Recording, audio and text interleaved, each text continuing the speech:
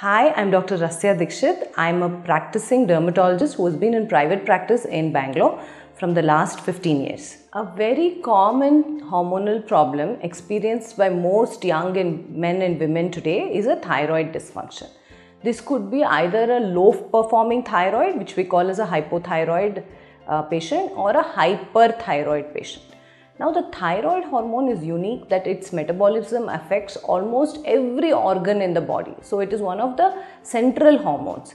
A deficiency of thyroid hormones means slow turnover of the cells, it means brittle hair, brittle nails, which tend to fall out. A hyperthyroid state means your vitamins are going to get consumed very fast and the metabolism is very fast. Again, it causes a hair fall. So, whenever there is a thyroid dysfunction, it is very important to understand that the thyroid dysfunction has to be treated correctly either with a physician or an endocrinologist.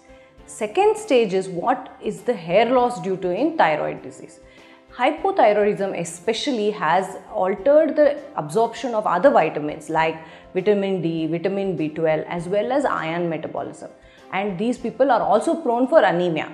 So with these things being in mind, you should make sure that you are getting your vitamins checked at the same time, making sure your diet is adequate and keeping your TSH at a normal level. The good news about hair fall which is caused due to thyroid is that it will grow back but it does take much much more time than a person who is euthyroid.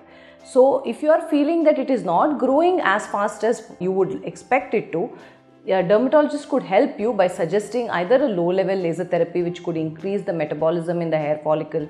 This is like a treatment which can be done in the clinic, not painful and will show results within 2 to 3 months after starting the treatment.